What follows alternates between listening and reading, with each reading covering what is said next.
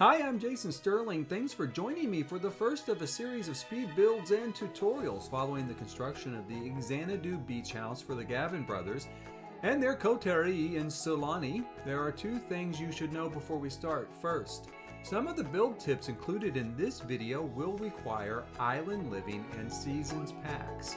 And although you might be able to devise your own processes in both cases with other objects, and I encourage you to try, I wanted you to know up front. Second, you'll need to activate the Move Objects cheat. Now any instruction in this video referencing using the keyboard as we are about to do is based on an American style keyboard. The combinations of keys needed in-game may differ from country to country. And if so, you may need to do a quick search online to uncover your regional method. In this case, press Ctrl, Shift, and C at the same time on your keyboard to open the dialog box in the upper left corner of the game. Once the box is open, type the cheat that you see here on the screen into it and press enter.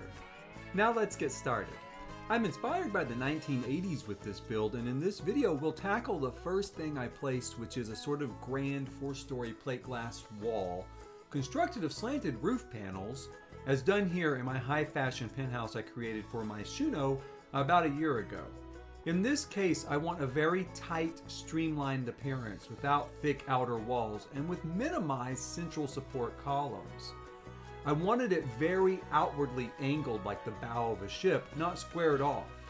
We'll start naturally with the roof panels themselves, placed and then shrunk to a one by one square. Then drag the sides out three additional squares on each side.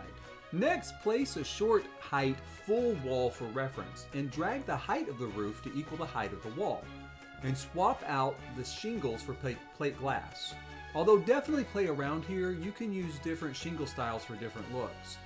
Place a single tile section of wall as shown. That will be our guide wall to construct the angled wall area that we're going to fill in.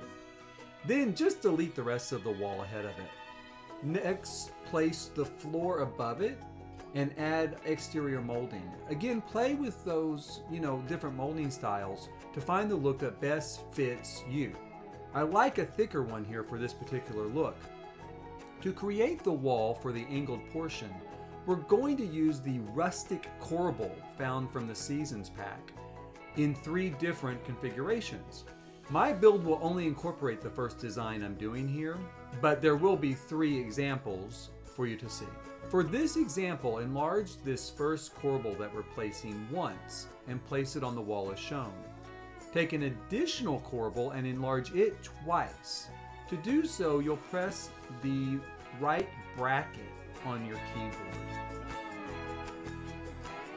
Use the in-game height slider by pressing the number 9 key to move the first corbel gently up the wall until it aligns with the second one and with the angle of the roof as shown. This gives a very effective appearance of angled side windows. We're going to repeat this process on the second floor by clicking on the roof on the first floor with our cursor and copying it and then placing it on the second floor so that it aligns with the roof wall below it. It won't be exact, but you'll never see that during live play. You can press the shift key and grab the lower portion of the roof to raise it higher, giving a more flush appearance if you like. I'm going to here, but in my penthouse, I left the overlap, which I thought was a more urban, loftier look. Add walls, copy and paste the second floor in the same manner as the first, and place it as a third floor. Make sure you have your guide wall in place in the same manner as before.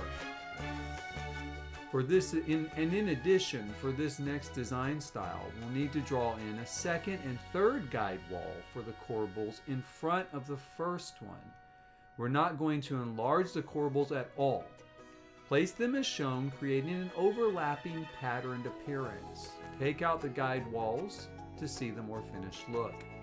Then, as you can see here, I applied a few columns for a fuller, more completed look. Yeah, a little bit advanced. Normally I'd probably put those in at the end. On the third floor, our design will require two guide walls. The corbels will all be sized up once and then overlapped uh, in the same way as we did in the second design.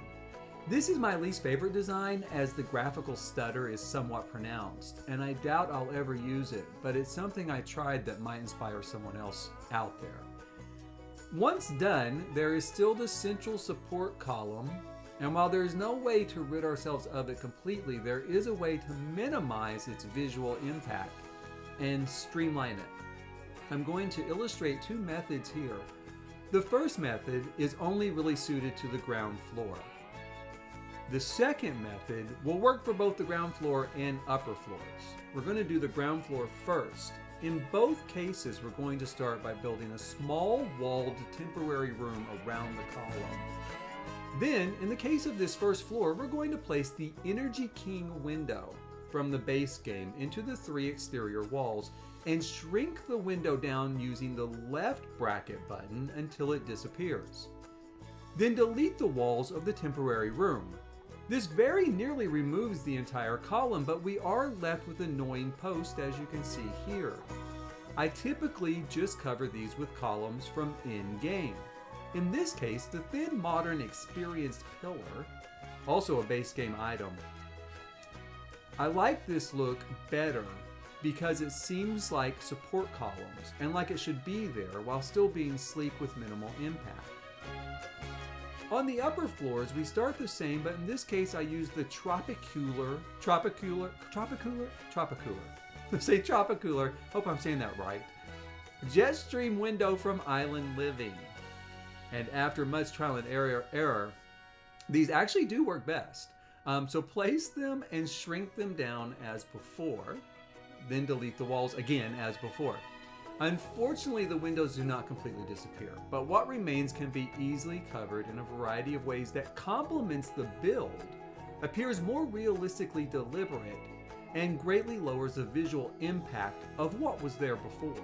I'm going to settle with this look here, incorporating some tropical foliage as a plant ledge. I may actually go ahead and string down some ferns from Jungle Adventure 2 in the end. I don't know how I'll change it, but it's going to look something like this. I recommend, I strongly recommend, strongly encourage you, play around with stuff. See what suits you best, what suits your build best.